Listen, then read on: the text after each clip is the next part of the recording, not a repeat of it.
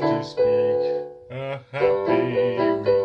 I, oh, I can't wait.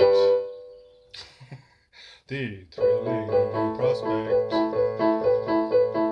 of an altar. Oh, there it goes of destruction.